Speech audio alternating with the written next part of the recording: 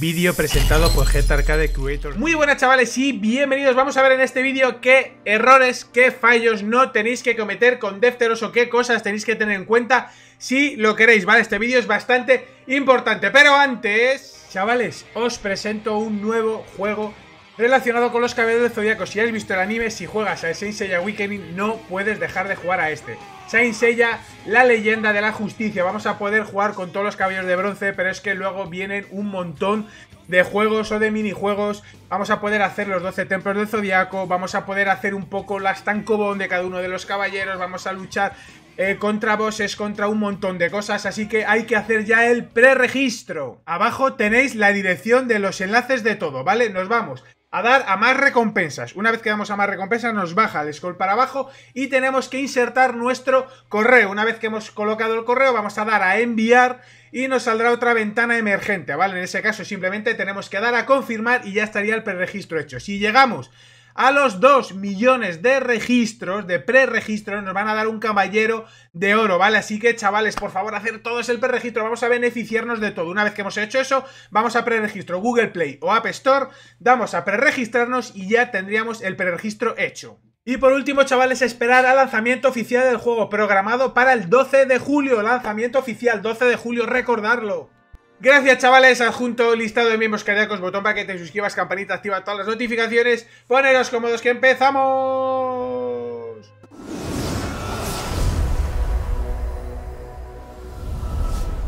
Bueno chavales, vamos a analizar todos esos errores que no tenéis que cometer a la hora de tener o de invocar o de armar a Defteros. Pero si tenéis necesidad de comprar algún elemento o algún artículo en la tienda, podéis aprovechar la App Gallery de Huawei, ¿vale? Ponéis en vuestra App Gallery región España y instaláis el juego desde la App Gallery. Tenéis 15% de cashback directo desde el miércoles a las 12 del mediodía hasta el viernes a las 12 del mediodía. Todas las semanas va a haber 15% de cashback esos 3 días, ¿vale? Así que, chavales, aprovecharlo. En todo caso, los errores que no debemos que cometer, vamos a analizar para ello, nos vamos a la versión china, ¿vale? Vamos para allá. Y aquí en la versión china, lo primero que vamos a analizar va a ser el metagame. Vamos a ver qué posición Ocupa el señor Defteros aquí en la China a ver qué puesto está. Ok. Thanatos, Atena, Sion Sapuri ocupan el top 3. Seguido de Canon, Dragón, ¿vale? Doco Divino, el Toro, Kiki está muy arriba. Hasum, bueno, aquí estáis viendo un poco Albafika, Alon, Ate, Saori, Persephone, Suikio. Y vamos bajando, vamos bajando, vamos bajando. Y el señor Defteros ocupa el puesto 37 con el 5,4% de uso. Por encima de Sasa que tendría el 5,2, por encima de Camus, el Lune de Balrog, etc. Y para que veáis un poco el metagame que tiene aquí en la versión china, ¿vale? Así que digamos que el primer eh, paso que tenéis que tener en cuenta es el uso que se le da aquí en la China. Básicamente en China el uso que se le da a Defteros es eminentemente a modo de Ichi, o al menos lo que es la sección de Yamir, en la cual se utiliza para combinarlo con el team musical llevando a Doko Divino, entonces el, equipo sería Defteros con Doko para que nos dé la energía, seguido de Sorrento, seguido de Farao, seguido de Orfeo. Vale, en este caso la mecánica sería fácil, dar velocidad a Sorrento, Sorrento utiliza la habilidad para controlar y Doko bufaría a Orfeo, ¿vale? Y ya, pues básicamente es todo esperar el daño y ya está. Entonces para ello no hace falta armar a un Defteros muy potente, 1-1-4-2 ya funcionaría, ¿vale? Eh, ¿Es importante o no es importante tener a Defteros en, las alineaciones? Pues mira, eh, ha ocasionado un cambio bastante importante en el metagame a raíz de su salida. No solo porque pueda funcionar con ese elemento de intercambio y utilizarle con el team musical a modo de Ichi, sino porque da mecánicas muy interesantes con el intercambio de posiciones, ¿vale? Eso va a dar mecánicas muy interesantes con Evisaga para hacer control o para hacer counter a un Camus divino, para un poco modificar la partida o alterar las alineaciones del rival, o incluso para beneficiarnos nosotros de ese intercambio con eh, o nuestro por nuestro interés, por ejemplo, intercambiar con el toro y el toro sacar el alma a una unidad que a nosotros nos resulta interesante, ¿vale? Así que yo creo que la importancia de Defteros en el meta va a ser eh, va a ser buena, va a ser positiva, ¿vale? Pero tenéis que tener en cuenta también que viene Pandora de los Canvas que está a la vuelta a la esquina, ¿vale? Y hablando de la importancia del cambio en el metagame que ha proporcionado el señor Defteros, también vamos a hablar de la importancia de tenerle ¿Vale? Porque eh, está en el pabellón, en un pabellón de flores que poquito a poco se va maxeando, que poquito a poco se va llenando. Y es en el mismo pabellón en el que está Sasha, en el que está Alfabica sin ir más lejos, ¿vale? Entonces en este caso ya vemos que el pabellón de los Gasmas se va llenando ya con 5 unidades, ya cobra importancia el hecho de tenerle, ya no digo de armarle o no armarle, digo solo el hecho de tenerle para que maxemos este pabellón que sinceramente tiene una importancia bastante elevada. Primero porque Albafica es una unidad muy rota, segundo porque Sasa es una unidad que yo creo que a corto plazo va a tener importancia en el juego, pero puede ser que esté equivocado o no. Y ahora sí, de vuelta a la versión global, el primer de los consejos o de los errores que no debéis cometer es en el emporio de gemas comprar las gemas temporales, ¿vale? Es importante porque el banner saldrá el miércoles y deberíamos de comprar las gemas temporales. Las podéis comprar hoy o las podéis comprar quizás el sábado o el domingo. Tampoco es mala opción, pero tened en cuenta que tenéis que comprarla antes de Akakiabe o antes del reinicio del domingo, si no, desaprovecháis las gemas temporales, ¿vale? El siguiente de los consejos es recomendaros a todos las 40 diarias. Ya hemos hablado de la importancia de obtener eh, por el pabellón de flores. Ya hemos hablado de comprar las gemas temporales, ahora toca hablar de las 40 diarias y de aprovechar el evento de invocaciones al máximo. Vuelvo a decir lo mismo, lo que digo siempre, 40 diarias, no hagáis all-in, no os dejéis llevar por el hype, all-in no es bueno. Lanzar 40 diarias, si lanzáis 40 diarias durante el banner, hacéis 300 tiradas y os va a devolver el juego 70. ¿Vale? Lo más lógico, lo más normal es hacer 40 diarias miércoles, jueves, viernes, sábado y domingo y el lunes, si no os ha salido, si queréis hacer all-in por si queréis adepteros. Si lo vais a armar, si lo vais a armar, hacer all-in el lunes o el martes. Si no tenéis pensado armarle, si no tenéis pensado meterle libros, si no tenéis pensado meterle recursos, quedaros en simplemente 40 diarias y si el viernes, el miércoles acaba el banner, lo completéis con fragmento de la legión y ya está. ¿Vale? Pero si le queréis armar por aprovechar el evento de entrenamiento, aprovecháis el evento de invocaciones por el evento de entrenamiento el lunes. Termináis de hacer all-in y aprovecháis, ¿vale? Eh, el tema de aprovechar el evento de entrenamiento. Ya sabéis que siempre pasa, el evento de entrenamiento nos pide, entre otras cosas, subir 11 veces las habilidades. ¿Vale? Eh, y entre otras cosas nos va a pedir subir el básico, subir la segunda, la tercera y la cuarta skill. Yo no os recomiendo subir el ataque básico. Vais a gastar 3 libros para que os den 15 fragmentos de mierda. No lo hagáis. El evento de entrenamiento para subirle 11 veces, 11 veces las habilidades hay que subirle 1, 5, 4, 5. Olvidaros de subir el básico. No merece la pena subir el básico para aprovechar el evento de entrenamiento porque vais a perder más recursos de los que vais a ganar, ¿vale? Así que el evento de entrenamiento importante para subirle 11 veces las habilidades 1, 5, 4, 5. Eh, armados del señor Defteros. Vale, hay varios armados distintos que podemos tener en cuenta para este señor. El armado, el armado mínimo mínimo para utilizarle a modo de Ichi. 1, 1, 4, 2.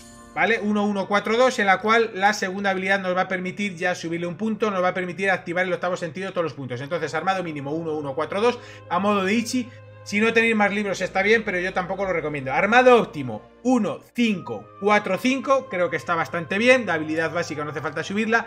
La habilidad 5 habría que llevarla a nivel 5 para que meta el mayor porcentaje de daño, es importante.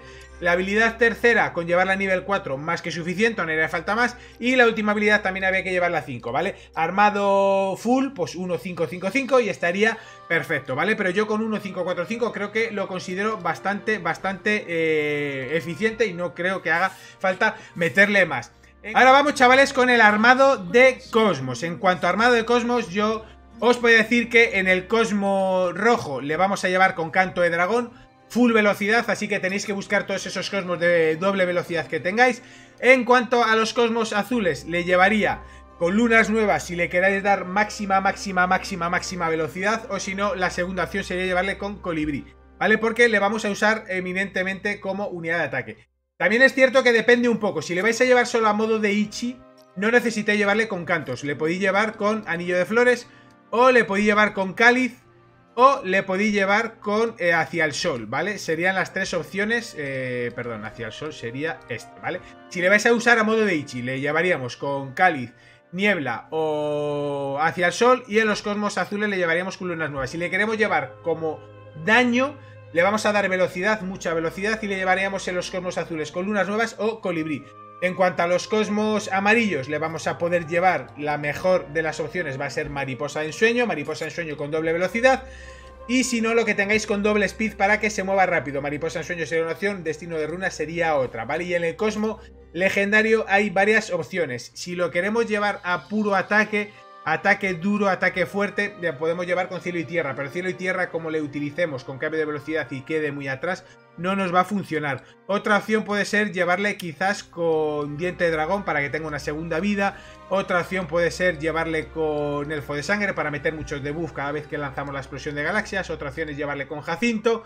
O incluso otra opción sería llevarle con mandala para que nos dé velocidad y nos dé un poco de reducción de daño. Así que hay, en cuanto al cosmo legendario hay varias opciones y no solo una le va a encajar bien, ¿vale?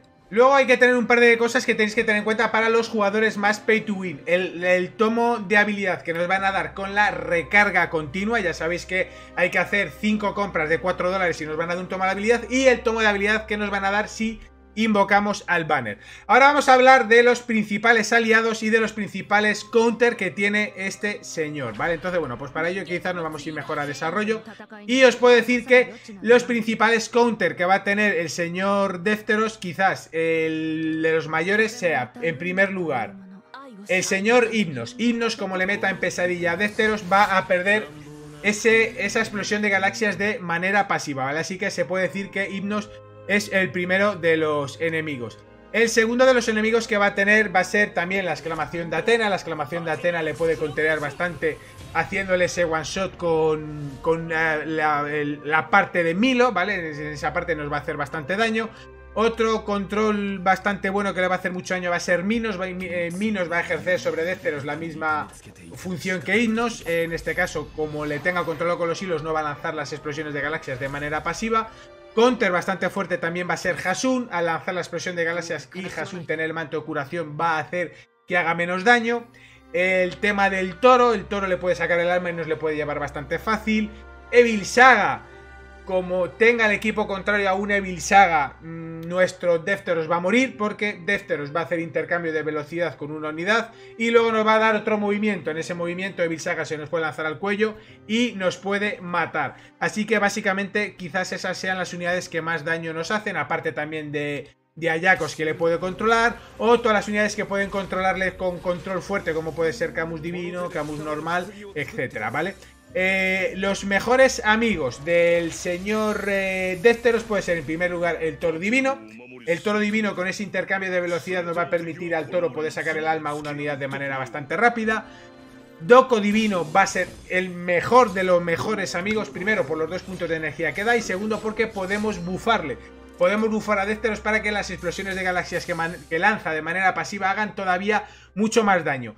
Hace mucho daño también al equipo de Artemisa. Contra Artemisa se ve beneficiado porque Artemisa al dar muchos movimientos, Défteros se va a llenar mucho más rápido de marcas y va a lanzar ataques de manera mucho más efectiva. Un buen amigo, también es cierto que es enemigo, pero también es aliado, es el llevar a Evil Saga. Evil Saga le tengo aquí. Evil Saga nos va a venir muy bien porque podemos intercambiar velocidad a un enemigo para que forzarle a que se mueva en el primer turno y Evil Saga se lanza por él. Así que básicamente yo quizás creo que esos eh, son los mejores amigos. Quizás Sasa también se va a venir muy bien con Defters por, por esos contraataques, ¿vale? Está bastante bien. Y por último, el team musical, ya sabéis que eh, últimamente se está llevando mucho en la China el hecho de llevar a Sorrento, dar velocidad a Sorrento y Sorrento utilizar la habilidad número número 2, que es la del clímax de la muerte. Así que yo creo que esos son todos los aspectos que tenéis que tener en cuenta a la hora de no cometer ningún error con Defter. Se puede resumir en, comprar las gemas temporales en hacer 40 diarias. No aprovechéis el evento de entrenamiento de manera absurda como subir el ataque básico y demás. Chavales, abajo en la descripción del vídeo todas las cosas que se os ocurra, si hay alguna cosa que no haya dicho, suscribiros, campanita, todas las notificaciones, miembros que os que veis siempre el canal, nos vemos en el próximo vídeo, chao chao. Vídeo presentado por Jet Arcade Creator Team.